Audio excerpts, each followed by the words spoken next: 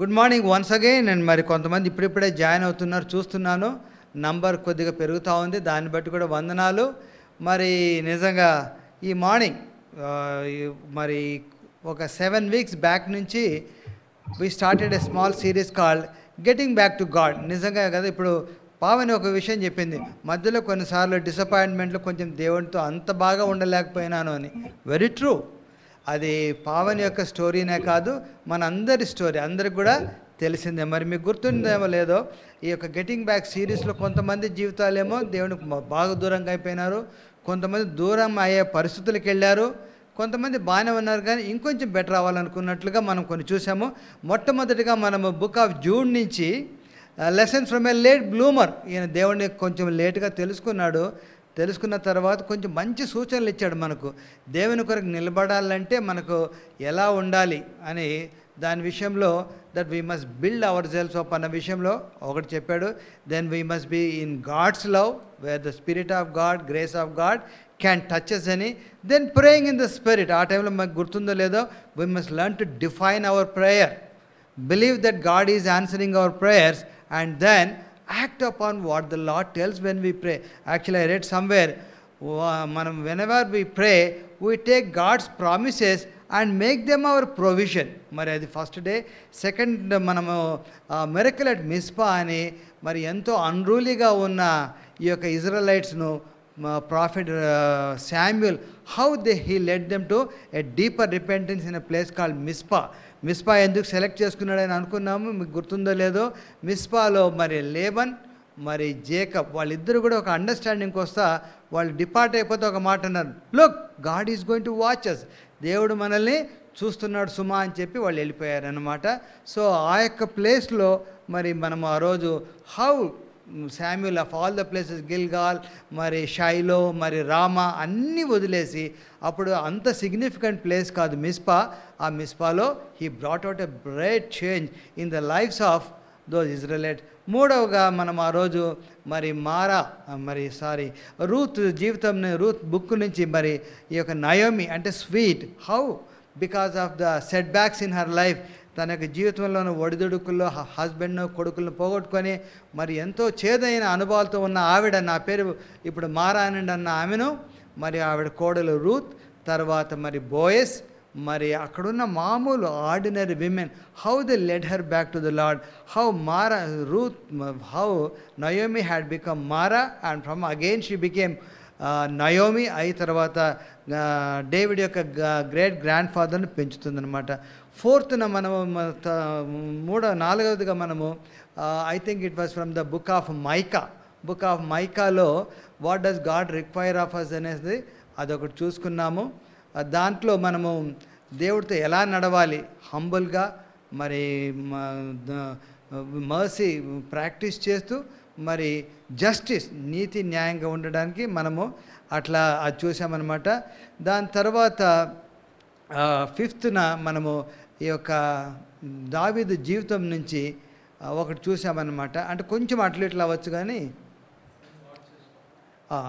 When God say stop అని అంటే దావీదు ఒక తన యొక్క జీవితంలో ఒకసారి నేబాల్ అనే వ్యక్తిని ఆల్మోస్ట్ చంపబోయాడు అనమాట చంపబోయినప్పుడు దేవుడు అబిగేల్ అనే ఆ యొక్క నాబాల్ వైఫ్ ద్వారా దావీదుని ఆపుతాడు. ఒకవేళ దావీదు కానీ ఆ చంపేసింటే తన మనసు మన మనస్సాక్షి ఒక రకంగా ఉండేదనమాట కాకపోతే దేవుడు ఆ అబిగేల్ని వాడుకొని తను ఆపేస్తాడనమాట బ్యూటిఫుల్ స్టోరీ అనమాట అందుకనే when God tells a stop we need to stop దాని తర్వాత మనము మరొకసారి ఈ యొక్క శిష్యులు సేమ్ లెసన్ మాటి మాటికి మర్చిపోతుంటారు. నీలాగా నాలాగా అనమాట వాళ్ళు మార్కు సువార్ మత్తయి సువార్త ఎనిమిదవ అధ్యాయంలో ఒక తుఫాను ఫేస్ చేశారు.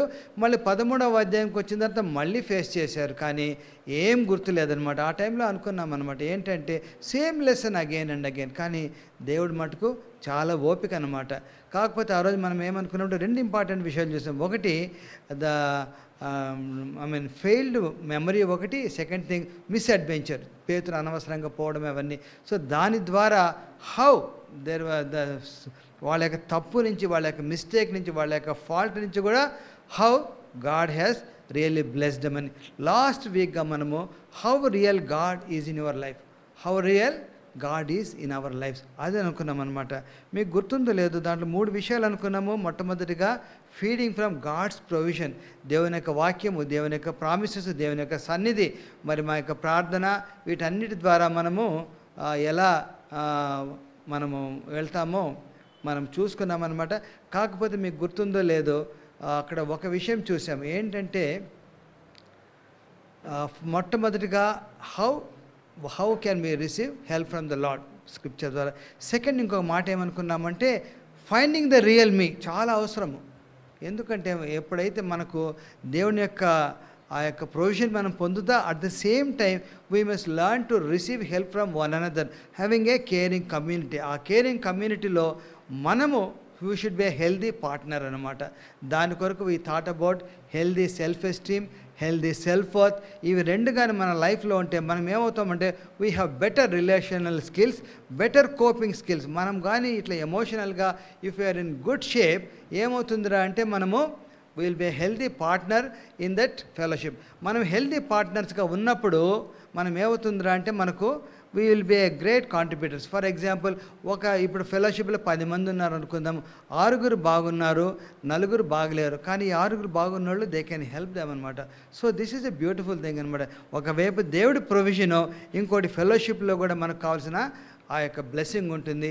అప్పుడప్పుడు మనము మనతో మాట్లాడుకోవాలి. ఎందుకు నేను ఇట్లా బిహేవ్ చేస్తున్నాను so these are some of the things we discuss last Sunday so that we can stay close to God even ఎప్పుడైనా పొరపాటున స్లిప్ అయినా దేవుని యొక్క కృప మన ఫ్రెండ్స్ యొక్క హెల్ప్తో మనము మళ్ళీ దేవుని దగ్గర పోవడం అనమాట ఈరోజు మనము ఒక topic తీసుకోబోతున్నాము. Same thing from the book of Hebrews మీరు కానీ నన్ను దీని కొరకు హెడ్డింగ్ ఒక శీర్షిక అడిగితే the heart of the matter is the మ్యా the heart of the matter is the matter of heart అంటే ఇంకొంచెం సింపుల్గా డల్లస్ విల్లాడ్ అనే ఆయన ఒక గొప్ప బుక్ రాశాడు మా ఇంట్లో ఉందన్నమాట.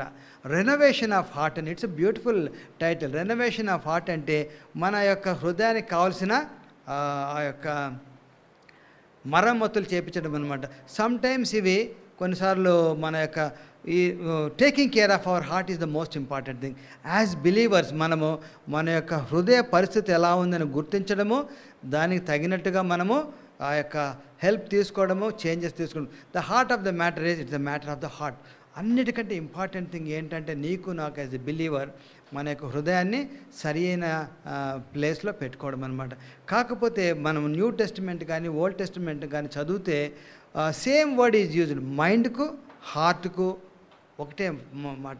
మన యొక్క కల్చర్లో హార్ట్ అంటే ఒకటి మైండ్ అంటే ఒకటి కానీ బిలి బిబ్లికల్ కల్చర్లో హార్ట్ అన్న మైండ్ అన్న ఒకటే అనమాట సో దిస్ మార్నింగ్ ఇప్పుడు చాలా గొప్ప జ్ఞాని అయిన సాలమన్ ఒక మాట రాస్తాడు నాలుగవ అధ్యాయము సామెతలు ఏమంటే above all else God your heart which is the wellspring of your life అన్నిటికంటే కూడా నీ హృదయాన్ని జాగ్రత్తగా చూసుకొనుము. ఎందుకంటే అక్కడి నుంచే జీవము వస్తుంది అంటాడు so this morning we're going to read the book of Hebrews chapter three మొదటి ఎనిమిది వచనాలు చదువుదాము. దీని నుంచి మనము ఈరోజు దేవుడు మనతో ఏం మాట్లాడబోతున్నాడని మనము జాగ్రత్తగా విందాం. హెబ్రీ పత్రిక మూడవ అధ్యాయము మొదటి ఎనిమిది వచనాలు. నేను ఇంగ్లీష్లో చదువుతున్నాను మీరు దయచేసి తెలుగులో ఫాలో అవ్వండి. Therefore holy brothers who share in the heavenly calling fix your thoughts on Jesus first thing ఏమంటున్నారా అంటే fix your thoughts on Jesus మీరు కానీ బుక్ ఆఫ్ హీబ్రూస్ కానీ చదివారంటే ఈ హీబ్రూ బుక్లో fixing our eyes up on Jesus. Fix అన్నమాట చాలాసార్లు వాడతాడనమాట ఈ బుక్లో ఇంకొక మాట చూడాలనుకుంటే endurance perseverance these are some of the words we find in the book of Hebrews ఈ యొక్క హీబ్రూ పత్రికలో మరి స్థిరంగా నీ యొక్క మనసును ఆయన మీద ఉంచుకోవాలని రాస్తాడనమాట మొట్టమొదటికి ఏమంటున్నాడంటే therefore holy brothers who share in the heavenly calling fix your thoughts on Jesus the apostles and high priest whom we confess he was faithful to all to the one who appointed him. Second word faithful huh? just as moses was faithful in all god's house. Jesus has been found worthy of greater honor than moses just as the builder of a house has greater honor than the house itself. For every house is built by someone but god is the builder of everything. Moses was faithful as a servant in all God's house, testifying to what uh, would be said in the future. But Christ is faithful as a son over God's house, and we are his house we, if we hold on to our courage and hope of which we boast. So, as the Holy Spirit says, today, if you, are, if you hear his voice, do not harden your hearts. Today, if you hear his voice, do not harden your hearts. These are some of the scripture portions verses we're going to very briefly చాలా క్లుప్తంగా మనము చూసుకోబోతున్నాము. నిజంగా దేవుని యొక్క వాక్యం ఎంత బాగుందో అనిపిస్తుంది. సో ఈరోజు దేవుడు మనందరితో మాట్లాడాలని నా ప్రార్థన. So the heart of the matter is it's a matter of heart అట్లే ఈ యొక్క మన హృదయానికి ఏమేమి అవసరమో ఏ రిపేర్స్ కావాలనో కొన్నిసార్లు రిపేర్స్ అనేవి మటుకు భలే తమాషా. మనం చాలా చిన్న రిపేర్ అనుకొని స్టార్ట్ చేస్తాం కానీ it ends up into major factor అనమాట చాలా sir same thing in our life. చిన్నదే కదా అనుకుంటాం కానీ దాన్ని మనం కొంచెం తవ్వేసరికి దాని వెనకాల చాలా పెద్ద ప్రాబ్లం ఉండొచ్చు. So this morning my are going to see what are the repairs that we need to do. మరి లేవియ కాండంలో మరి నిర్గ మరి నంబర్స్లో సంఖ్యాకాండంలో ఈ యొక్క రకరకాల బలుల గురించి చెప్తారనమాట దహన బలి పాప పరిహారార్థ బలి ఇవన్నీ రకరకాలు చెప్తా ఒకటి ఒక విషయం ఇంగ్లీష్లో ఏముంటుందంటే peace offering or fellowship offering. ఈ పీస్ ఆఫరింగ్ ఫెలోషిప్ ఆఫరింగ్ వాళ్ళు ఏదో పాపం చేశారని ఆ పాపం కొరకు ఆ యొక్క బలిని ఇవ్వడం కాదు కానీ వాళ్ళు ఏమనుకుంటున్నారంటే నేను ఏంటి దేవుడికి ఇంత దూరంగా ఉన్నాను? ఇంకొంచెం బాగుండాలి ఇంకొంచెం ప్రేమించాలి ఇంకొంచెం నమ్మకంగా ఉండాలి ఇంకొంచెం తీవ్రంగా పనిచేయాలి అనుకున్నప్పుడు వాళ్ళ యొక్క అనుకున్న ఒకవేళ ఏదైనా ప్రమాణం చేసి మర్చిపోయారేమో ఇవన్నీ గుర్తు చేసుకుంటూ వాళ్ళు వచ్చి ఈ యొక్క ఫెలోషిప్ ఆఫరింగ్ ఇస్తారనమాట ఈ ఫెలోషిప్ ఆఫరింగ్ ప్రత్యేకత ఏంటంటే ఇది దేవునికి కొంచెం పోతుంది ప్రీస్ట్ తింటారు మరి ఎవరైతే ఆఫరింగ్ ఇస్తున్నారో వాళ్ళకు కూడా ఒక పా షేర్ వస్తుందన్నమాట.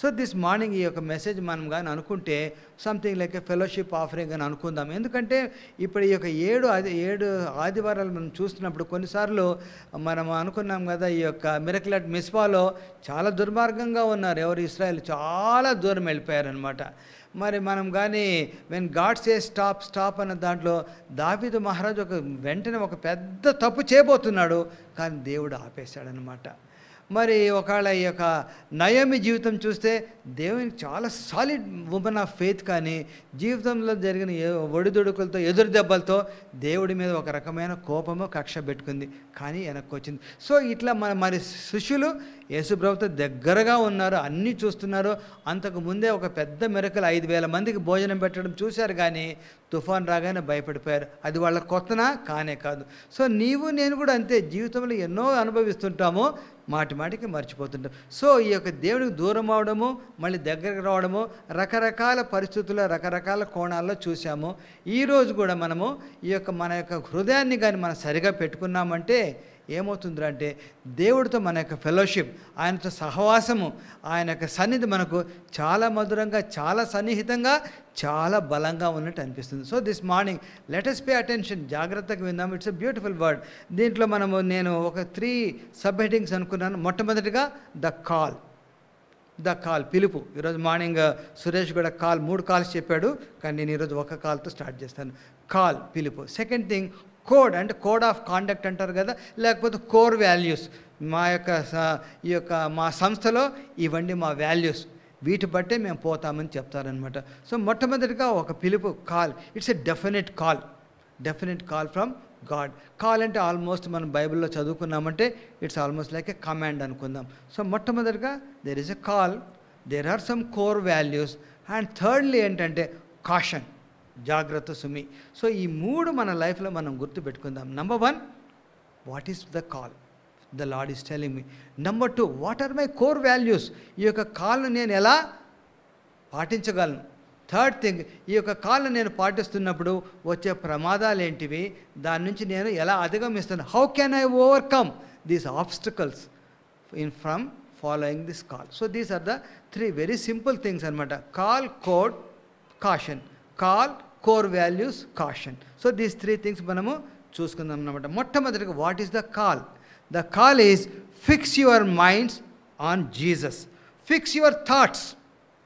Fix your thought. నేను చెప్తాను కదా థాట్ లైఫ్ మనం దేవుడికి దగ్గరగా ఉండాలన్నా దేవుడికి దూరం అయిపోవాలన్నా దేవుడిని సంతోషపెట్టాలన్నా దేవుడిని గాయపరచాలనేది ఎక్కడ జరుగుతుంది అంటే మన మైండ్ మన థాట్స్ మన థాట్ లైఫ్ అన్నమాట.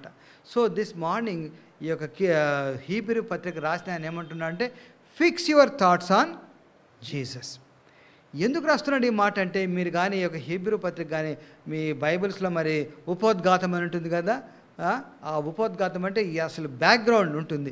ఏంటంటే ఈ యొక్క హీబ్రూ ఎవరికి రా- హీబ్రూస్ లెటర్ ఎవరికి రాశారంటే ఎవరైతే యూదా మతం నుంచి దేవుణ్ణి అంగీకరించారో ఆ టైంలో ఇది బిట్వీన్ సిక్స్టీ ఎయిట్ సెవెంటీ ఆ టైంలో నీరో ఉన్నాడు చక్రవర్తి రోమన్ పరిపాలిస్తున్నాడు.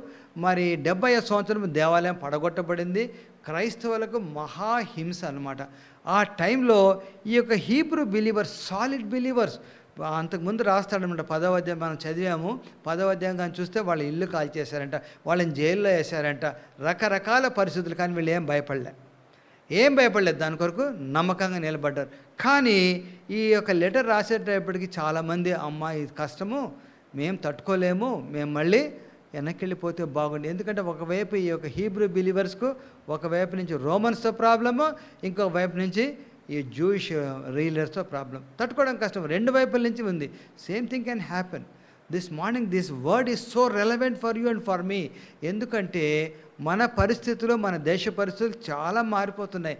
నిజంగా this is a very solid word for you and for me this morning ఆ టైంలో ఈ యొక్క హీబ్రూ బిలీవర్స్ ఏం ఫేస్ చేస్తున్నారో మనము చేయబోతున్నామని నేను అనుకుంటున్నాను సో లెట్ అస్ గేరప్ దీని కొరకు మనము సిద్ధపడదాం. సో మొట్టమొదటిగా what is the call fix your thoughts on Christ Jesus ఇది హీబ్రూ పత్రిక న్యూ టెస్టిమెంట్ థాట్ కానీ మీరు కానీ ఓల్డ్ టెస్టిమెంట్ కానీ వెళ్ళామంటే మరి Old Testament solid believers solid దేవుని కొరకు గొప్పగా పనిచేసిన వాళ్ళు ఎవరు అంటే ఎంతమంది ఉన్నారు. డేవిడ్ అనుకోవచ్చు ఐజే అనుకోవచ్చు. మీరు కానీ యాభై ఏడవ కీర్తన ఏడవ వచనం కానీ చదివామంటే మనకు అర్థమవుతుంది. ఈ యొక్క యాభై ఏడవ కీర్తన రాసినప్పుడు దావీదు పరిస్థితి ఏంట్రా అంటే దావీదు సౌలు ఎంబడబడుతున్నాడు చంపడానికని దావీదు పరిగెత్తుతా ఒక గుహలో దాక్కున్నాడు అనమాట గుహలో దాక్కుంటే ఏముంటుంది? చీకటి ఉంటుంది పడుకుందామంటే బెడ్ ఉండదు కప్పుకోవడానికి దుప్పటి ఉండదు మరి భోజనం ఉండదు ఒంటరితనము రకరకాల ఇంకా డిప్రెషన్ ఉండాలి అంటే సాలిడ్ అంత చుట్టూ ఆ పరిస్థితులు అలా ఉన్నాయి. కాకపోతే ఏమంటే ఒక గొప్ప భక్తుడు ఏం రాస్తాడంటే కాన్సర్ట్ ఇన్ ఏ కేవ్ అంటే గుహలో ఒక గొప్ప సంగీతం. కాన్సర్ట్ ఇన్ ఏ కేవ్ అని రాస్తా ఇక్కడ ఒక మంచి బ్యూటిఫుల్ ఒక వర్స్ ఒకటి అంటాడనమాట. యాభై ఏడవ అధ్యాయం ఏడవ వచనంలో ఏం రాస్తాడంటే దావీదు my heart is steadfast O God my heart is steadfast I will sing and make music నా హృదయము నిబ్బరంగా ఉంది ప్రభా. ఎంత గొప్ప మాట కదా. నాకు తెలుగులో ఈ మాట చాలా ఇష్టం. నిబ్బరం అనే చాలామంది వాడలేదు వినడానికి కొంచెం పాతకాలం వర్డ్ లాగా ఉంటుంది కానీ it's a word so much of power so much of depth అనమాట నిబ్బరము. నిజంగా యేసు ప్రభువును ఆ యొక్క మన లాస్ట్ టైం అనుకున్నాం కదా ఆ యొక్క ఫీడింగ్ ఫ్రమ్ హిస్ ప్రొవిజన్ ఆయన వాక్యము ఆయన యొక్క సన్నిధి ఆయన ప్రామిసెస్ ఆయన మన చుట్టూ పెట్టే మన ఫ్రెండ్స్ ఇవన్నీ మనకి ఎలా ఉండాలిరా అంటే హృదయం ఎప్పుడు కూడా నిబ్బరంగా ఉండాలి. కానీ మన హృదయం ఎప్పుడు తటపట్లాడుతూ ఉంటుంది. ముఖం చిటపట్లాడుతుంటుంది అనమాట సో ఇక్కడ దావిద మహారాజు ఆ పరిస్థితుల్లో కూడా ఏమంటున్నాడు అంటే my heart is steadfast నిబ్బరంగా ఉంది ప్రభా. ఐ వాంట్ టు సింగ్ ఎక్కడ ఈ యొక్క సింగింగ్ రా అంటే గుహలో పాడుతున్నాడు అనమాట ఈరోజు నీకు నాకు కొన్ని చిన్న గుహ అనుభవాలు ఉంటాయేమో. మన గుహలు చాలా చిన్న చిన్నగా ఉంటాయి. కొంచెం బయటకు వస్తే లైట్ ఉంటుంది. ఆ? ఆ యొక్క హీబ్రూస్ వాళ్ళకంటే చాలా గుహలు చాలా పెద్ద పెద్దగా ఉండేవంట. Easy for them to hide అనమాట సో దావీదు మహారాజ్ తన జీవితంలో నీకు నాకు ఒక మంచి చక్కటి ఆలోచన ఒక ఛాలెంజ్ ఇస్తున్నాడు. ఏంటంటే నువ్వు గుహలో ఉన్నా కూడా నీ హృదయం కానీ నిబ్బరంగా ఉంటే నువ్వు పాడగలవు. So concert in a cave so this morning అదొక ఛాలెంజ్గా మనము తీసుకుందాం. సో ఐజయ ఐజయ చాలామంది రాజులను చూశాడు తన జీవితంలో. కొంతమంది మంచోళ్ళని చూశాడు కొంతమంది దుర్మార్గులను చూశాడనమాట కాకపోతే మీకు తెలుసో తెలియదు కానీ ఐజే అనంట మనస్సే అనే ఒక రాజు రంపం తీసుకొని రెండు గంటలు కట్ చేసి చంపేశాడంట. ఐజయా లాంటి గొప్ప వ్యక్తికి ఎటువంటి దుర్మరణం కదా. సో ఈ యొక్క ఐజయా నిజంగా మీరు ఐజయా చదవండి. నేనైతే నేను స్పిరిచువల్గా నేను ఎప్పుడైతే డౌన్గా ఉంటానో ఆ టైం నేను అంతకుముందు కూడా చెప్పాను ఐజయా చాప్టర్ ఫార్టీ నుంచి వరుసగా చదువుకుంటూ పోతా. You can try that you can try బ్యూటిఫుల్గా ఉంటాయి. ఆ వర్డ్స్లో there is so much of power so much of life so much of joy so much of comfort so ఇక్కడ ఈ యొక్క ఐజయా చాప్టర్ ట్వంటీ సిక్స్లో ఐజయా ఒక బ్యూటిఫుల్ మాట అంటాడు. ఇరవై ఆరు ఐజయా ఐజయా ఇరవై ఆరు మూడవ వచనంలో ఏముంటుందంటే you will keep him in perfect peace whose mind is steadfast O మీరు కానీ పాత మాకు ఇది స్టేట్ ఫాస్ట్ బాగుంది వర్డ్ కానీ పాత పాత King James వర్షన్లో whose mind is stayed on thee అని ఉంటుంది. ఆనుకుంటుందంట. మనసు దేవుడి మీద ఆనుకోవడం ఎంత బ్యూటిఫుల్ మాట కదా. ఒక గొప్ప missionary he went to tribe and he was trying to translate అంట. ట్రాన్స్లేట్లో ఇది ఆనుకోవడం అనేది వాళ్ళ భాషకు తెలియట్లేదంట. ఎంతో కష్టపడుతున్నట how to put this word lean on leaning అనేది రావట్లేదంటే ఒకసారి ఒక వ్యక్తి వచ్చాడంట. ఆ ట్రైబల్ మ్యాన్ వచ్చి అక్కడ కుర్చీ మీద కూర్చున్నాడంట. దీన్ని ఏమంటావు నువ్వు అన్నాడంట. అంటే థ్రోయింగ్ అవర్ ఫుల్ వెయిట్ నువ్వు కుర్చీలో కూర్చున్నప్పుడు మనం సగం వెయిట్ అయితే వేయం కదా ఎవరో నేయగలరు అట్లా ఫుల్ వెయిట్ వేస్తామన్నమాట. సో లీనింగ్ అంటే ఏంటంటే throwing our full weight upon Jesus that's the thing we must learn అంత ఈజీ కాదనమాట సో ఇక్కడ ఏమవుతుందిరా అంటే పాత నిబంధనలో కూడా గొప్ప గొప్ప భక్తులు వాళ్ళ యొక్క జీవితంలో కష్టాలన్నిట్లో ఒకవైపు కష్టాల్లో కూడా పోతున్నారు కానీ ఆ రోజు ఏం చెప్తున్నారు అంటే ఐ కెన్ సింగ్ అంటాడు. ఇంకొక ఆయన ఏమంటాడు I can enjoy your peace అంటాడు. సో దిస్ మార్నింగ్ ఈ కాల్లో మనం గుర్తుపెట్టుకుందాం. When we fix our thoughts on Jesus we can enjoy we can be joyful పాటలు రాకుండా పాడచ్చు. చుట్టూ చాలా కష్టాలు ఉండొచ్చు కానీ సమాధానం ఉంటుంది. Climate inside would be safe weather outside may be very bad but climate inside we can keep safe keep steady if you learn to fix our thoughts on Jesus మనం ఎప్పుడైతే మన యొక్క ఆలోచనలు ఆయన మీద కేంద్రీకరించుకోవడం నేర్చుకుంటామో బాగుంటుందన్నమాట. సో థాట్స్ అనగానే కొన్ని విషయాలు మీతో పంచుకోవాలనుకుంటున్నాను. ఇది కాగ్నిషన్ అంటే పర్స్పెక్టివ్ మార్చుకోవడం processing our life processing our thoughts processing అంటే మనము ఆలోచించడం. మనం నేను సింపుల్గా చెప్తానులేండి ఈ యొక్క ఒక బుక్ చదువుతున్నాను అనమాట ABCs of cognitive behavioural therapy ABC అంటేనంటే first మీరేం భయపడద్దండి. సింపుల్గా చెప్పబోతున్నాను. ఏ యాక్టివేటింగ్ అన్ ఈవెంట్ నీ జీవితంలో కొద్ది రోజుల క్రితం జరిగిన ఒక సంఘటనను మళ్ళీ గుర్తు చేసుకో. యాక్టివేటింగ్ అన్ ఈవెంట్ ఏముంటుంది? ఒక ఆమె నేను వైపు నేను కేర్ చేయలేదు. She ignored me that the statement activating ఈవెంట్లో మొట్టమొదటి ఏంటంటే ఆమె నన్ను పట్టించుకోలేదు. చూసి చూడనట్టు వెళ్ళిపోయింది.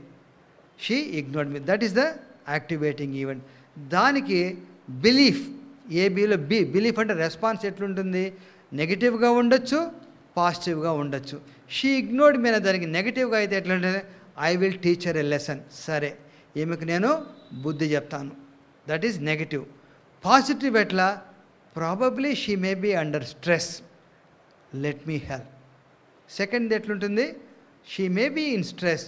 I think I should do. ఫైనల్గా ఏమవుతుంది? ఫైనల్గా ఏమవుతుంది అంటే because she when I think that she is under stress I would like to help అన్నప్పుడు I heard read a term called paradigm shift అని స్టీవెన్ కోబెన్ అని ఒకటి రాస్తాడు.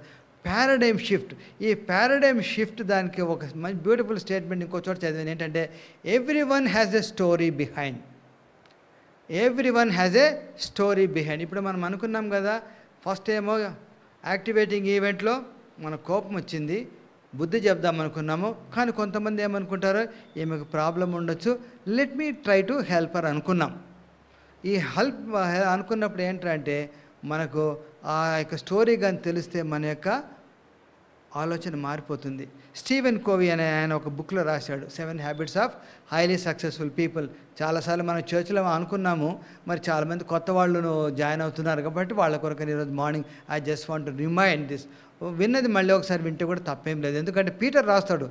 సెకండ్ పీటర్ లెటర్లో థర్డ్ చాప్టర్లో మొట్టమొదటి అసలు అదే రాస్తాడు. I'm not tired of repeating this I want you to know అని చెప్తా. సో ఎనీవే ఈ యొక్క పారాడైమ్ షిఫ్ట్ అంటే మన యొక్క ఆలోచనలు ఎలా మారుతాయో బ్యూటిఫుల్ స్టోరీ చెప్తాడనమాట. ఇట్ సీమ్స్ ఒక రోజు అంటే న్యూయార్క్లో ఒక ట్రైన్ పోతా ఉందంట మార్నింగ్ అమెరికన్స్ మనలాగా ఏ ఊరండి మీద ఎక్కడ ఎంతమంది పిల్లలు ఇక్కడ ఎక్కువ మాటలు మాట్లాడరు. ఆ? ట్రైన్లో అందరూ నీటి కొంతమంది కాఫీ తాగుతున్నారంట కొంతమంది newspaper చదువుకుంటున్నారంట. It was a very quiet బ్యూటిఫుల్గా ఉంటాయి ఈ అమెరికన్ ట్రైన్స్. వెళ్తూ ఉంటే సడన్గా ఒక స్టేషన్లో ఒక ఆయన ఒక నలుగురు ఐదు పిల్లలు ఎక్కారంటే. ఎక్కి వాళ్ళు అందరినీ డిస్టర్బ్ చేస్తున్నారంట పేపర్ లాగుతున్నారంట పోయి కాఫీ తాగుతుంటే పక్కన కూర్చుంటున్నారంట. ఈయన ఏం మాట్లాడుకుంటున్నాడంట ఈ తండ్రి.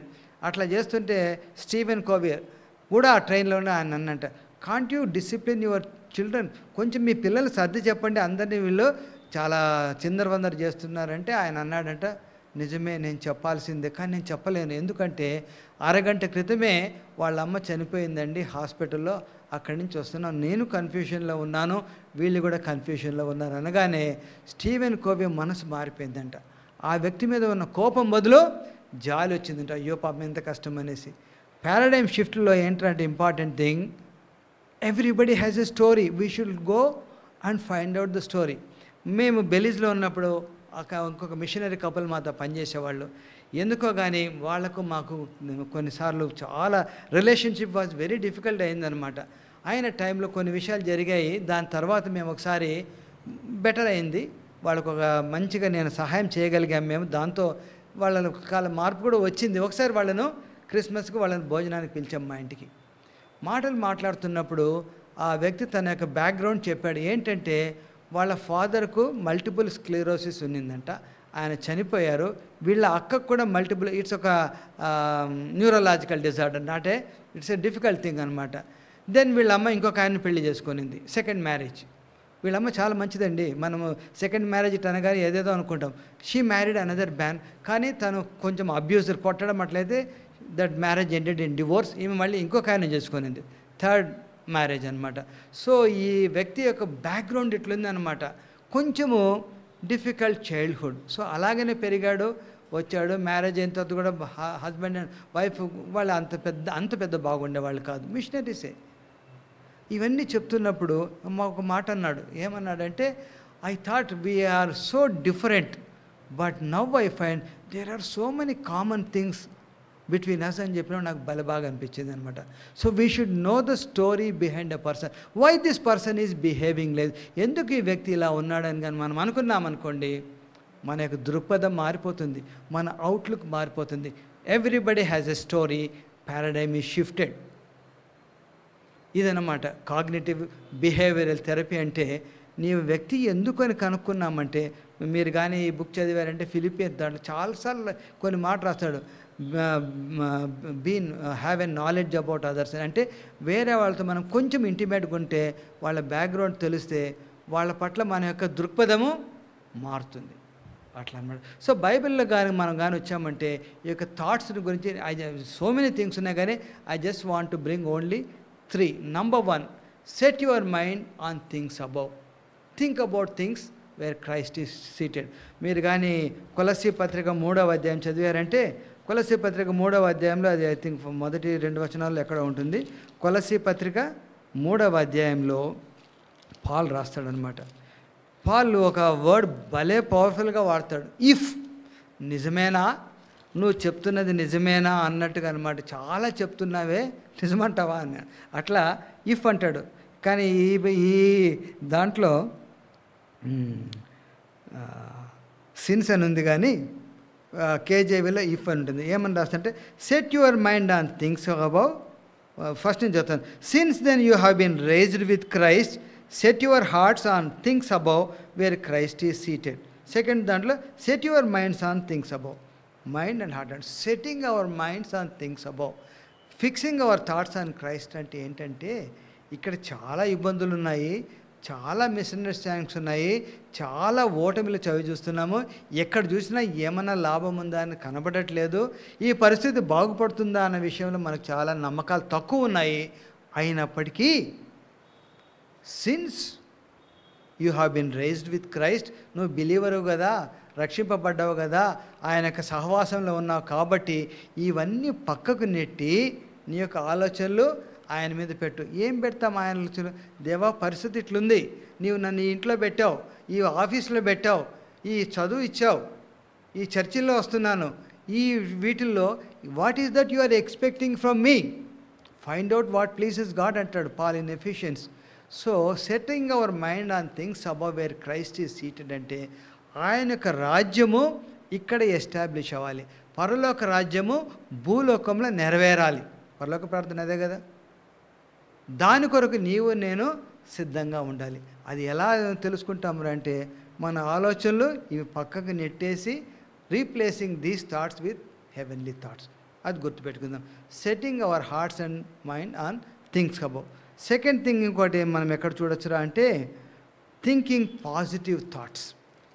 Positive thoughts ఇది this we find in Philippians chapter ఫోర్లో ఉంటుంది. ఏముంటుందంటే ఎనిమిదో వచనం ఫైనలీ ఫైనల్ అంటే చివరిగా నేను ఒక మంచి మాట చెప్తున్నాను వినండి. ఏంటంటే బ్రదర్స్ సహోదరులారా మనమందరం కూడా బ్రదర్స్ మనం కానీ ఈ యొక్క ఫెలోషిప్లో ఉన్నామంటే మనం చివరికి అన్నిటికంటే ఇంపార్టెంట్ థింగ్ మనం గుర్తుపెట్టుకోవాల్సింది ఏంటంటే brothers whatever is true whatever is noble ఏది సత్యమో వాట్ ఎవర్ ఈజ్ నోబుల్ ఏది ఘనమైనవో వాట్ ఎవర్ ఈజ్ రెడ్ ఏది ఏది కరెక్టో వాట్ ఎవర్ ఈజ్ ప్యూర్ ఏది చాలా పరిశుద్ధంగా ఉందో వాట్ ఎవర్ ఈజ్ లవ్లీ చాలా బ్యూటిఫుల్గా ఉందో వాట్ ఎవర్ ఈజ్ అడ్మిరబుల్ అబ్బా ఎంత బాగుందని మనకు రావాలి. If anything is excellent or praiseworthy think about such things మనం బేసిక్గా మనం అందరం కూడా negative type of people cynicals అనమాట అసలే ఇంక ఈ పరిస్థితులు చూస్తే ఇంకా అయిపోతున్నాం so this morning Paul is మనకు ఒక ఛాలెంజ్ ఇస్తున్నాడు ఈ book of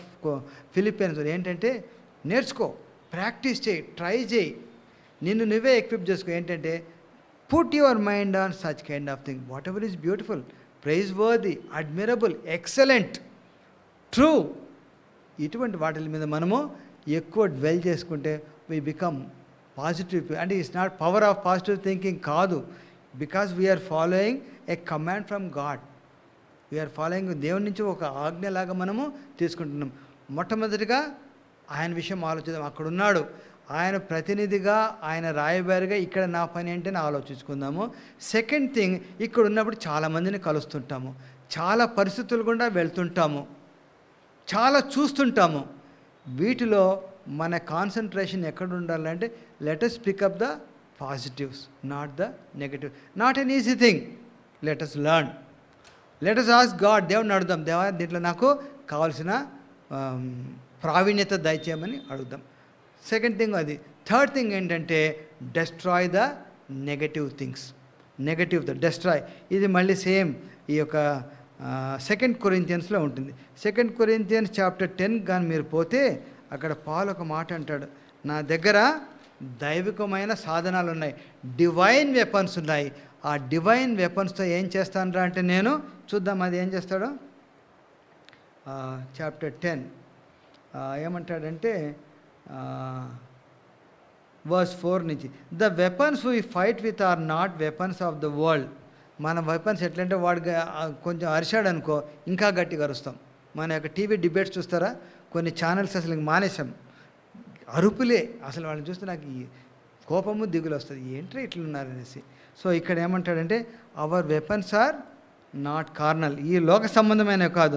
The weapons we fight are not the weapons of the world on the contrary they have divine power to demolish strongholds we demolish arguments of every pretension that set self against the knowledge of God and we take captive every thought and make it obedient to Christ యేసు ప్రభుకి వ్యతిరేకంగా ఎటువంటి తలంపు ఎటువంటి సిద్ధాంతము ఎటువంటి ఆలోచన వచ్చినా దేవుడు మాకు ఇచ్చిన ఆ యొక్క దైవికమైన సాధనాలతో దాన్ని లోపరుచుకుంటామంటాడు వెరీ ఇంపార్టెంట్ మనం నేర్చుకోవాలి ఇవన్నీ.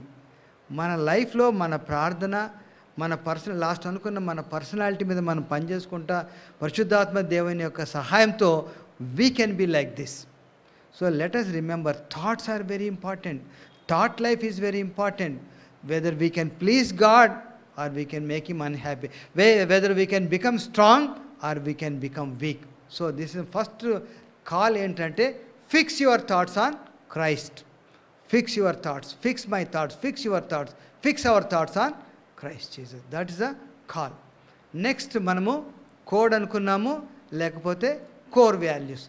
There are three important things we find in this మనము హీబ్రూస్కి వెళ్తే మొదటి ఎనిమిది వచనాల్లో ఏడు వచనాలు ఆరు వచనంలో కొన్ని మాటలు రాస్తాయి. నంబర్ వన్ ఏంటంటే he talk three times about faithfulness ఏంటంటే మోజెస్ ఫెయిత్ఫుల్ అంటాడు యేసు ప్రభు కూడా ఫెయిత్ఫుల్ అంటాడు. ఫెయిత్ఫుల్నెస్ వెరీ ఇంపార్టెంట్ దేవుణ్ణి సంతోష పెట్టాలి అంటే మటుకు మనము faith what is faithfulness the another word the Greek word అక్కడ వచ్చే మీనింగ్ ఏంటంటే స్టెట్ ఫాస్ట్నెస్ స్టెట్ ఫాస్ట్నెస్ వర్షం పడినా నేను చర్చికి పోతాను. ఒకసారి ఈయన ఒక ఒక I think it was Art Burg అని కూడా ఒక మంచి పాస్టర్ ఆయన రాశాడు తన బుక్లో. చాలా వర్షం పడుతుందంట. ఆయన చదువుకునేటప్పుడు పేపర్ ప్రతి ఇంటికి వెళ్ళి పేపర్ వేస్తా తను డబ్బు అదే వచ్చే డబ్బులతో తన ఫీజుకు దానికి వాడుకునేవాడంట. ఒకరోజు చాలా వర్షం చల్లగా ఉందంట. పోబుద్దిగా యంగ్ బాయ్ ఎక్కడ పోతావులే అనుకున్నా అంట కానీ నో వెళ్ళాల్సిందే అనుకున్నాంట వెళ్ళి ఆ పేపర్ తీసుకుని అందరికి ఇస్తుంట ఒక ఇంట్లో మట్టుకు ఆయన కిటికీలో గుండి ఇవ్వాలంట. వెళ్ళినప్పుడు ఆయన కిటికీ తెరుస్తాడంట ఈ కిటికీలో గుండి ఇస్తాడంట. సరే పోయినాడంట. ఆ ఇంటికి పోయి ఆ కిటికీని టనగానే ఆ ఓనర్ తలుపు తెరిచాడంట. నేను చూస్తూ ఉన్నాను నువ్వు వస్తావో రావో అని. నువ్వు వచ్చి వస్తే మటుకు నేను గిఫ్ట్ ఇవ్వాలనుకున్నాను ఫిఫ్టీ డాలర్స్ ఇచ్చాడంట. బ్యూటిఫుల్. Steadfastness faithfulness. మీరు కానీ కొలోషియన్ బుక్ కానీ చెప్తే అక్కడ ఇంకొక మాట సింపుల్ మాట. కంటిన్యూ. కంటిన్యూ. కొనసాగించు. ఆగద్దు. వెనక్కి తిరగద్దు. నిలబడద్దు. ముందుకు పో. స్టేట్ ఫాస్ట్నెస్ అనేది చాలా ఇంపార్టెంట్. మన యొక్క బైబిల్లో చాలా చోట్ల రాస్తాడనమాట be faithful in prayer. Be consistency steadfastness faithfulness. చాలా మాటలు వాడచ్చు అనమాట what exactly how can we understand faithfulness ఈ స్టెడ్ ఫాస్ట్నెస్ అనేది మనము ఎలా అర్థం చేసుకుంటామంటే ఈ స్టెడ్ ఫాస్ట్నెస్ అనేది మనము యూజువల్గా ఎలా థింక్ చేస్తామంటే it is with regard to our loyalty or reverence మనకు ఒక వ్యక్తి పట్ల ఉన్న గౌరవం కానీ ఆ యొక్క ఆయనతో ఉండడం రెవరెన్స్ దాంతో కంపేర్ చే దాంతో మనం ఆలోచించవచ్చు steadfastness in our relationship to a person or to a cause దాని తర్వాత ఈ యొక్క పర్సన్ను లేకపోతే ఈ పనిని మనము ఒప్పుకున్నాం చేయాలనుకుంటున్నాం how we're going to proceed what are the tools we use గుర్తు నేను ఒక- మీకు ఒక వ్యక్తి యొక్క జీవితం నుంచి ఐ ట్రై టు ఎక్స్ప్లెయిన్ మన లైఫ్లో మనము ఇటు చూసినప్పుడు ఆహా ఇట్లుండాలి అని అనుకుంటాం అనమాట steadfastness or faithfulness consistency continuing మేము nineteen ఎయిటీలో we work in a small hospital in a small village Kachhwa అని యూపీలో ఉంటుంది మిర్జాపూర్ డిస్ట్రిక్ట్ అనమాట ఈ హాస్పిటల్లో ఒక గొప్ప డాక్టర్ గారు పనిచేశారు. నైన్టీన్ సెవెంటీ నైన్టీన్ ట్వంటీ నుంచి నైన్టీన్ సెవెంటీ టూ దాకా. Fifty two years fifty two years పనిచేశాడనమాట ఎందుకు పనిచేస్తుంటాడు భలే బ్యూటిఫుల్ ప్లేసా మేము ఎయిటీలోనే రెండు సంవత్సరాలు ఉండడమే మాకు గగనం అయిపోయింది. ఏం లేదు. ఎలక్ట్రిసిటీ సరిగా ఉండదు. పాత ఇళ్ళు. చాలా అన్గ్రేట్ఫుల్ టైప్ ఆఫ్ పీపుల్ దుర్మార్గులు భలే కష్టం. ఒక అటువంటి ప్లేస్లో ఆయన పంతొమ్మిది వందల ఇరవై సంవత్సరం నుంచి పంతొమ్మిది వందల డెబ్బై రెండో సంవత్సరం దాకా పనిచేశాడు. ఎంత గొప్ప వ్యక్తి అంటే మేమిద్దరము జాయిన్ అవ్వడానికి పోతా ఉన్నామన్నమాట. ట్రైన్ ఎక్కాం. ట్రైన్లో సికింద్రాబాద్ స్టేషన్లో ఎక్కి కొంచెం దూరం పోయిన తర్వాత మన వాళ్ళందరూ మాట్లాడుతుంటారు కదా వాళ్ళు అడిగారు మమ్మల్ని ఎక్కడ పోతున్నారండి మీరని? అంటే మేము వారణాసి పోతున్నాం అన్నాం. అప్ప అంతే వాళ్ళు నార్త్ ఇండియన్ బిజినెస్ పీపుల్ వాళ్ళంతా హైదరాబాద్లో సికింద్రాబాద్లో బిజినెస్ చేస్తున్నారు. But they are originally from Varanasi ఆ ఏరియా అనమాట అడిగారు మమ్మల్ని ఎక్కడ పోతున్నారు మీరంటే వారణాసి పోతున్నారు ఎందుకంటే మీరు ఎక్కడేమైనా ఉద్యోగం చేస్తారంటే? లేదండి వారణాసి కాదు అక్కడి నుంచి కొంచెం దూరంలో చిన్న ఊరు అన్న. ఏం పని చేస్తారు మీరు? అన్నారు. అంటే మేము ఇద్దరం డాక్టర్స్ జూనియర్ డాక్టర్స్ అప్పుడు అంటే ఎక్కడ ఏ ఊరు చెప్పండి అంటే చెప్పాం. మీకు తెలిసి ఉండకపోవచ్చులండి చిన్న ఊరు కచ్వా అన్నాం. కచ్వా? డాక్టర్ ఎవరాడు పనిచేసిన ఊరా అన్నారు మాకైతే అనుకుంటే ఇప్పటికి కూడా దిగులే. ఎంత గొప్ప వ్యక్తులు అనుకున్నాం. ఆయన పంతొమ్మిది వందల డెబ్బైలో వదిలేశాడు కానీ ఎనభైలో కూడా గుర్తుపెట్టుకుంటున్నారు పంతొమ్మిది వందల ఇరవై నుంచి డెబ్బై రెండు దాకా యాభై రెండు సంవత్సరాలు ఆయన అక్కడ ఉన్నాడు. ఆయన పెళ్ళి చేసుకోవాలనుకున్న ఆ యొక్క అనదర్ డాక్టర్ అడిగిందంట ఇక్కడ వద్దు మనము ఇద్దరము లూధియానా పోదాము మెడికల్ కాలేజ్ ఉంది కదా స్టూడెంట్స్ ఉంటారు వేరే కొలీగ్స్ ఉంటారు మంచి ఫెలోషిప్ ఉంటుంది కొద్ది సిటీ టైప్ ఇక్కడ ఎక్కడ ఉంటాం మనం వెళ్దామంటే హీ రెఫ్యూజ్ లేదు దేవుడు నన్ను ఇక్కడికి పిలిచాడు. ఎందుకు రాడు స్టెట్ ఫాస్ట్ అంటే పిలిచినవాడు. ఆయన అక్కడ తన కొరకు కాదు నిన్ను పిలిచినవాడు నమ్మదగినవాడు. నేను ఆయన కొరకు నా కొరకు కాదని సో ఫెయిత్ఫుల్నెస్ అనేది ఎట్లా మనం చూస్తామనంటే ఎవరి కొరకు మనము అక్కడ ఉన్నాం లాస్ట్ టైం అనుకున్నాం కదా హూ యు ఆర్ కాదు హూమ్ యు ఆర్ నీవు ఎవడివి కాదు ఇంపార్టెంట్ నీవు ఎవరికి సంబంధించి ఎవరు? నీ యొక్క యజమాని. సో ఈయన అక్కడ అంత దూరం వద్దనుకొని వాళ్ళ ఈ స్కాట్లాండ్ నుంచి వచ్చి యాభై రెండు సంవత్సరాలు పనిచేశాడు. So steadfast faithfulness is with regard to a person whom you love you whom you respect దాని తర్వాత ఏ కాజ్? ఏంటి ఈయన cause? He saw the need in that area చాలా డిఫికల్ట్ ప్లేస్లో ఆయన చాలా గొప్ప ఇది చేశారు. ఎవరో రాసి మనం చదువుతున్నాను I just was reading about the history of this hospital వాళ్ళు రాస్తారు బాంబే నుంచి కల్కట్టాకు ఆ మధ్య దూరంలో బెస్ట్ సర్జికల్ సెంటర్ అంటే ఇదంట. ఒక్కో ఒక వ్యక్తి. మేము వెళ్ళినప్పుడు చెప్పేవాళ్ళు this is called as Vellore of north CMC Vellore ఎంత ఉందో అంత గొప్పది అంటారు. సిఎంసి వెల్లూరు అంటే వందల డాక్టర్లు ఉంటారు. కానీ కచ్వర he was the only person అంత బాగా చేశాడు. మరి ఎట్లా హౌ హీ కుడ్ డూ ఒకటేమో ఆ వ్యక్తి మీద ప్రేమ లాయల్టీ యేసుప్రభు. రెండవది ఏంటంటే దేవుడు తనకిచ్చిన పని మీద అనుకున్న శ్రద్ధ. థర్డ్ థింగ్ ఏంటంటే హౌ హీ కుడ్ అంటే he depended upon God through prayer ఇంతకుముందే అనుకున్నాం కదా prayer enables us to claim his promises and make them our provision ప్రార్థన ద్వారా దేవుడు మనకిచ్చే ఆ యొక్క వాగ్దానాలను మనము స్వతంత్రించుకోవడం నేర్చుకుంటాం.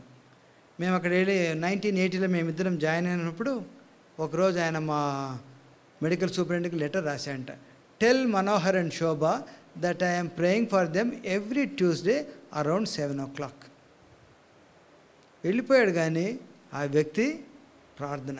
So this is a we we can have some understanding about faithfulness దేవుడు మనకిచ్చిన పని మొట్టమొదటిగా మనము ఆయన కొరకు చేస్తున్నామని గుర్తుపెట్టుకుందాం.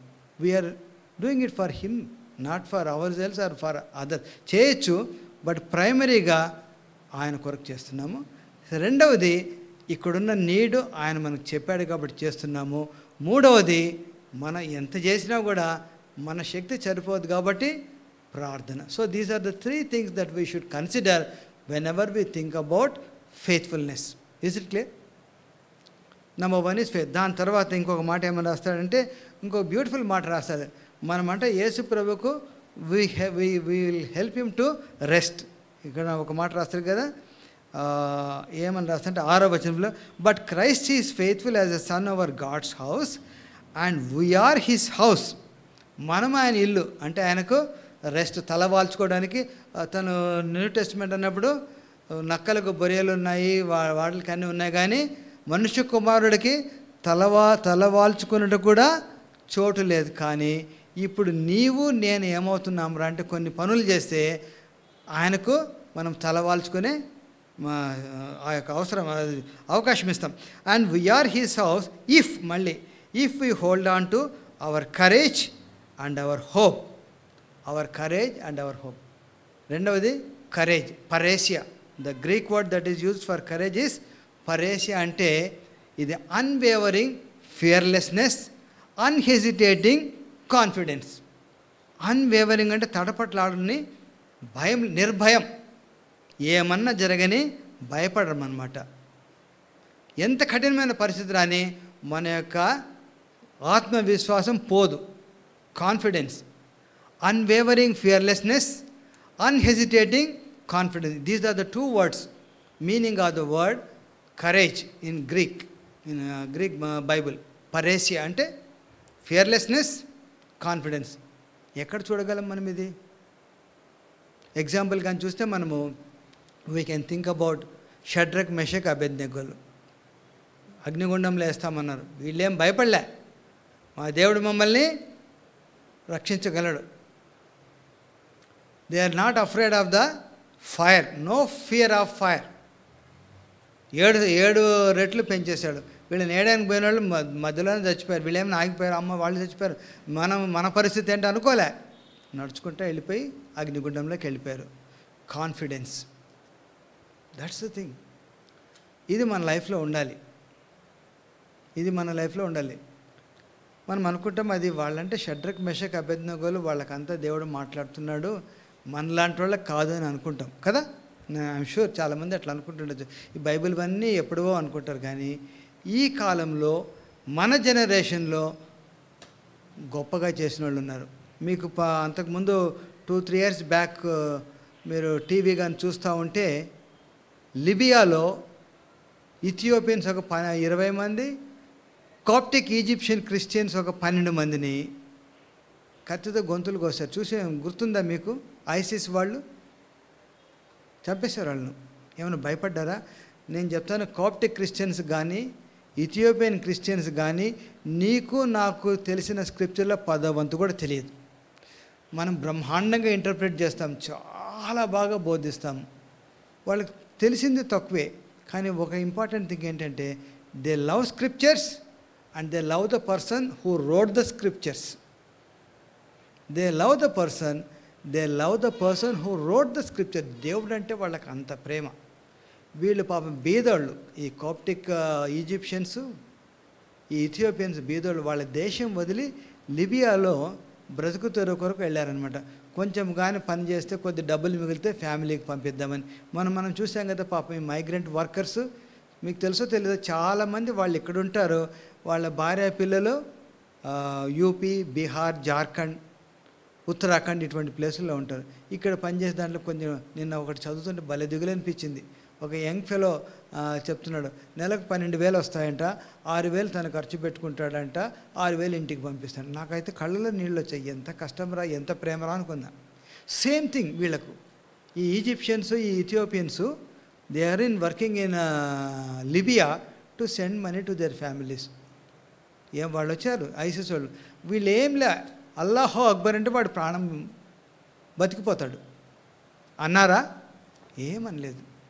ఏమనలేదు. చచ్చిపోయారు. దేవర్ ప్రిపేర్డ్ వాళ్ళు అనుకుని కదా అబ్బా ఇంక నా భార్యను పిల్లల్ని చూసుకోలేదే వాళ్ళని ఒక్కసారి చూసి చనిపోయినా బాగుండు. ఎంత గొప్ప త్యాగమా ఎంత ధైర్యమా అనిపించింది. అన్వేవరింగ్ ఫియర్లెస్నెస్ అన్హెసిటేటింగ్ కాన్ఫిడెన్స్ మన డాక్టర్ రవి జకరాయస్ ఫ్యూనరల్ అప్పుడు చాలామంది ఒక మాట రాశారు. I really believe what they said ఏంటంటే ఆయన డిస్క్రైబ్ చేస్తా డిఫెండర్ ఆఫ్ ఫెయిత్ అని రాస్తున్నారు. Very correct because he did so many దేవుడి కొరకు చాలా నమ్మకంగా పనిచేశాడు. ఆయన దేవుడు ఇచ్చిన ఆ యొక్క జ్ఞానము దేవుని పట్ల ప్రేమ ఇవన్నీ కూడా తన యొక్క టాలెంట్ తన యొక్క దేవుడు తనకి ఇచ్చిన ఆ యొక్క తలాంతును దేవుని మహిమార్థం వాడాడు. డిఫెండెడ్ ఫెయిత్ వేరే వాళ్ళతో ఆ యొక్క అపాలజెటిక్స్లో as he defended the faith in words but these simple people defended faith in deed they gave their life so this మాట మనం గుర్తుపెట్టుకుందాం. ఈరోజు మరి నిజంగా ఈ యొక్క వాక్యం వచ్చింది. మన దేశ పరిస్థితులు ఎలా ఉండబోతున్నాయో తెలియట్లేదు కానీ I think we need to ask God Lord bless me with parrhesia that courage unwavering fearlessness unhesitating confidence అది కావాలి. Core value faithfulness just like doctor Everard James Neville Everard parrhesia like these Egyptians and these Ethiopian simple people simple people పెద్ద చదువు కూడా ఉండకపోతే వాళ్ళు ordinary workers బ్రతుకుతూ ఒకరు పోయారు కానీ విశ్వాసం విషయం వచ్చేసరికి వాళ్ళు వీరులే. విశ్వాసం విషయం వస్తే they are not ordinary people they are warriors they were ready వాళ్ళకంత కత్తులను ఇట్లా పట్టేసి అవి టీవీలో ఉన్నాయి అవి. If you want you can even పోయి చూడండి. ఐసిస్ కిల్లింగ్స్ ఇన్ లిబియాని కొట్టండి ఇథియోపియన్స్ను కాప్టిక్ క్రిస్టియన్ చూపెడతారు. అంతెందుకు? ఇరాక్లో చిన్నపిల్లలు కూడా రెఫ్యూజ్ చేశారు. వాళ్ళని కూడా చంపేశారు. Parrhesia core value is faithfulness parrhesia తర్వాత కోర్ వాల్యూ ఏంటంటే హోప్ హోప్ అన్న మాట మనం ప్రతిరోజు వాడతాం. Hope it is it may not rain అంటాం. వర్షం పడకపోవచ్చు. Hope today it's it's the sun may not be that strong. Hope he will come. Hope they won't come. ఈ హోప్ అన్న మాట మనము రోజు వాడుతుంటాం. కొన్నిసార్లు మనం ఎగ్జామ్ రాస్తాం. సరిగ్గా రాయము. మనకు నమ్మకం ఉండదు పాస్ అవుతామని. అయినా పా మనం హోప్ చేస్తాం. దాన్ని ఏమంటాం తెలుసా? Hope against hope. అది హోప్ అగేన్స్ట్ హోప్ అంటే విష్ఫుల్ థింకింగ్. మనం సరిగా చేయం కానీ అయితే బాగుండు అనుకుంటాం. కానీ బైబిల్లో చెప్పే హోప్ వేరు.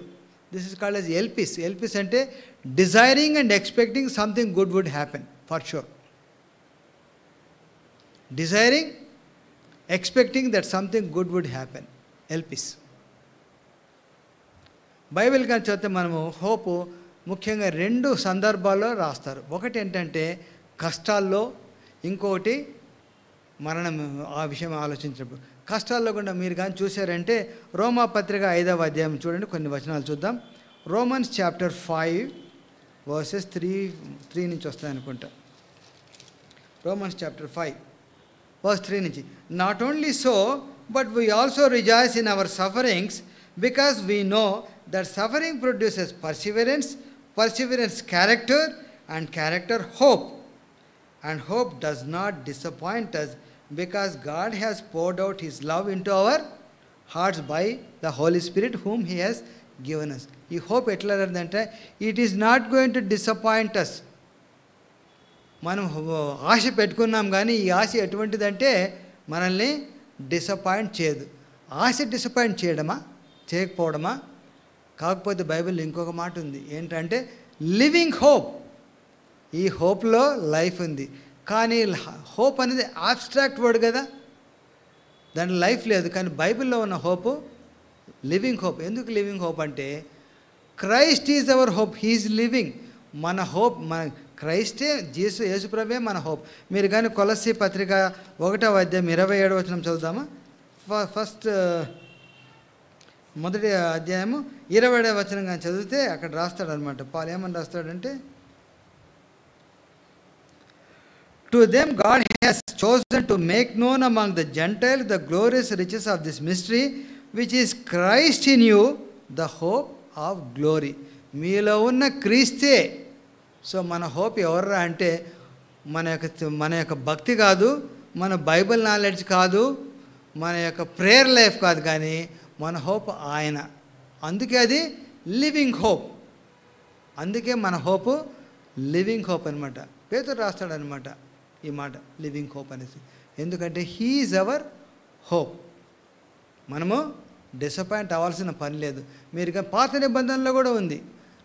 ఐజయా నలభై తొమ్మిది ఇరవై మూడు. Isaiah forty nine twenty third verse నాకు భలే ఇష్టం ఈ వా- ఈ వాక్యం.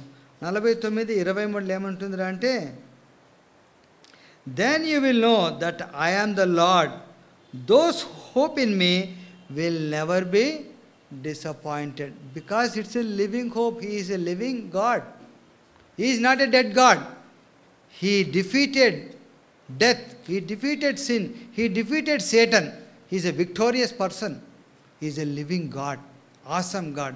అందుకే ఆయన మీద మన హోప్ కాబట్టి we will never be disappointed so this is with regard to రోమపతి అయితే ఆ, ఈ యొక్క suffering produces Perseverance Perseverance character character hope so మనం ఈ యొక్క హోప్ అనేది మనం ఎలా నేర్చుకుంటాం రా అంటే దేవుడి మీద ఆధారపడడం ఎలా నేర్చుకుంటాం రా అంటే కష్టాల్లో నేర్చుకుంటాం శ్రమల్లో నేర్చుకుంటాం ఇబ్బందుల్లో నేర్చుకుంటాం దుఃఖంలో నేర్చుకుంటాం ఓడిపోయిన పరిస్థితుల్లో ఇంకా బాగా నేర్చుకుంటాం.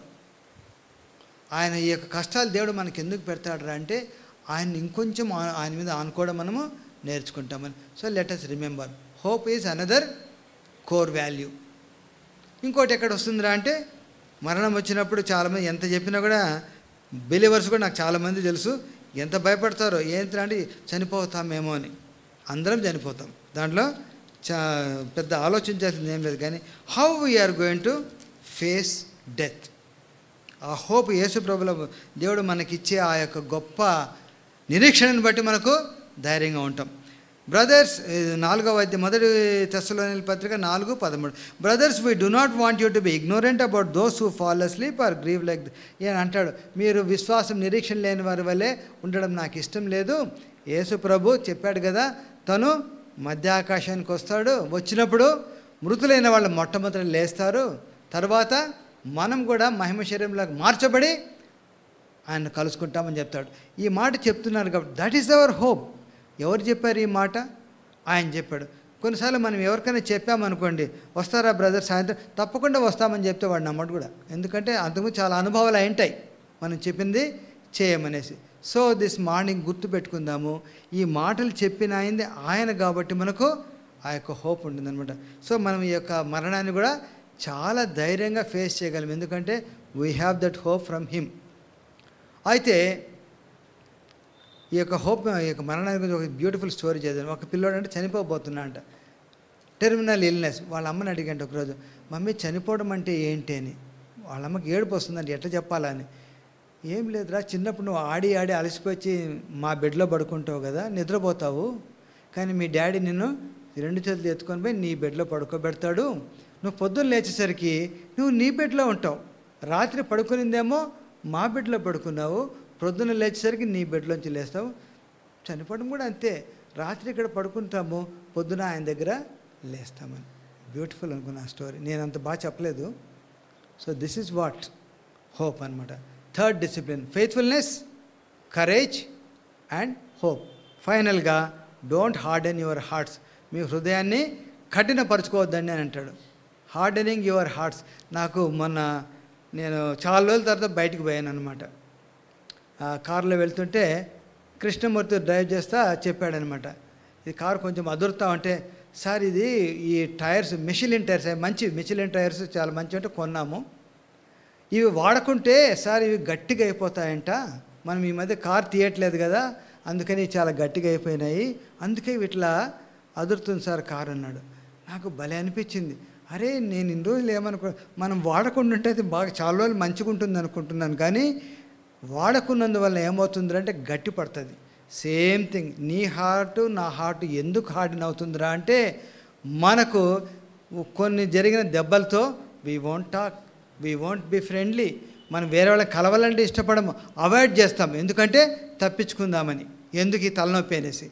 కాకపోతే ఏమవుతుందిరా అంటే మనము హార్డన్ అవుతామన్నమాట. నిజమే టైర్ రోడ్డు మీద పోతే వేడి రాళ్ళు గుచ్చుకోవచ్చు. ముళ్ళు గుచ్చుకోవచ్చు పెద్ద పెద్ద గుంటలో పడవచ్చు దక్కాముక్కీలు మొక్కిలు కాకపోతే ఏముందంటే సాఫ్ట్గా ఉంటుంది. సాఫ్ట్గా ఉంటుంది. నీవు నేను మన యొక్క కమ్యూనిటీస్ మన ఫెలోషిప్ చూసుకుంటే సేమ్ ప్రాబ్లం ఎందుకురా మన హార్డనింగ్ అవర్ హార్ట్స్ అంటే we don't want to get hurt it's a form of pride అందుకే మన పరిస్థితి ఉంటుంది. సో దిస్ మార్నింగ్ మనం గుర్తుపెట్టుకుందాం. దేవుని యొక్క సన్నిధి దేవుని యొక్క సహవాసం మనం దృఢంగా మధురంగా బలంగా రియలిస్టిక్గా అనుభవించాలంటే number one we should know our call ఏంటి? Fixing our thoughts on Jesus. Number two we should have some values some core values ఏంటివి అంటే ఫెయిత్ఫుల్నెస్ కరేజ్ అండ్ హోప్ విశ్వాసత ధైర్యము నిరీక్షణ. తర్వాత మెత్తని హృదయం. ఈ మధ్య మేము ఆ, యొక్క పా ఇది చేస్తున్నామన్నమాట. ఏంటంటే ప్రార్థన. Lord keep our skin thick our heart tender long life sharp mind so that we can serve you better. May this be our prayer. Let pray కృపగల దేవా నీ పాదాలకు వందనాలు అర్పిస్తూ ఉదయకాలం నీ సన్నిధికి వస్తున్నాము. మీరు మాకు ఇచ్చిన యొక్క వాక్యాన్ని మీరు దీవించమని వేడుకుంటున్నాం. మా జీవితంలో ప్రతిదీ నెరవేర్చండి ప్రభా. మా కాళ్ళు మేము గుర్తుపెట్టుకోవడం నేర్పించండి. మా జీవితంలో ప్రభా ఆ యొక్క నమ్మకత్వము ధైర్యము నిరీక్షణ బలంగా ఉంచండి. హృదయాన్ని కఠినపరచుకోకుండా ప్రభా దెబ్బలు తినడానికి కూడా రెడీగా. మమ్మల్ని మేము సెల్ఫ్ అన్కాన్షియస్గా మమ్మల్ని పెద్దగా అనుకోకుండా ప్రభా దాన్ని మేము నీ యొక్క సేవ చేసేలా మమ్మల్ని సిద్ధపరచమని ఈ దుఃఖ దినాల్లో కష్ట దినాల్లో ప్రభా నీ కొరకు నమ్మకంగా ఉండేలా మమ్మల్ని బ్లెస్ చేయమని యేసు ప్రభు నాన్న ప్రార్థించి వేడుకుంటున్నాం తండ్రి. ఆమెన్.